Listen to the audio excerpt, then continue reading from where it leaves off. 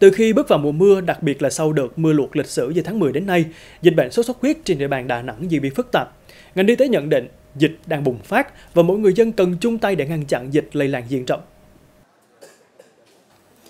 Mới đây, lãnh đạo Ủy ban nhân dân thành phố và ngành y tế đã kiểm tra thực tế công tác phòng chống dịch sốt xuất huyết tại quận Thanh Khê, địa phương có số ca mắc cao thứ ba toàn thành phố, sau quận Liên Chiểu và huyện Hòa Vang. Không khó để tìm thấy những vật dụng chứa nước có đầy bọ gậy như thế này. Số ca mắc tăng cao mỗi tuần, thậm chí đã có một trường hợp tử vong vì sốt xuất huyết, nhưng không biết gia đình vẫn mang tâm lý chủ quan. Khi mà phun thuốc à, khử à, hóa chất mà khử cái,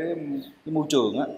có một số nhà dân đó thì trong quá trình mà triển khai thì họ có ở nhà nhưng mà họ lại không cho phun bởi vì họ nói là cái nhà có con nhỏ có cháu nhỏ hoặc là có người đau ốm thường xuyên thì phun cái đó vô thì nó ảnh hưởng tới cái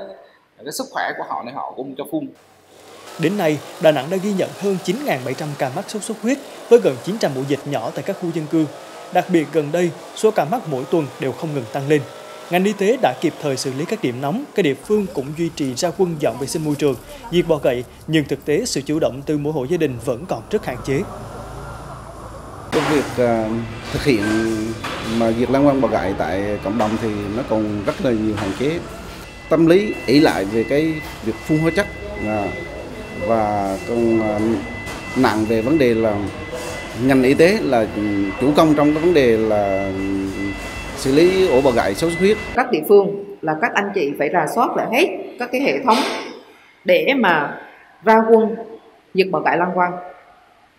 Cái này là phải làm liên tục và kết hợp với cái vẫn cái truyền thông. Cái biện pháp diệt bọ gậy lăng quăng là một biện pháp quan trọng nhất, tiết kiệm nhất và hiệu quả nhất không có lăng quăng, bọ gậy, không có mũi thì không có sốt xuất huyết. Thông điệp này đã được truyền tải nhiều lần đến từng khu dân cư với nhiều hình thức khác nhau. Sốt xuất huyết hiện đã vào mùa cao điểm và số ca bệnh chuyển nặng cũng tăng nhiều so với những năm trước. Cùng với các biện pháp của ngành y tế thì sự chung tay của mỗi gia đình, mỗi người dân là căn cơ hữu hiệu nhất để ngăn chặn dịch lây lan.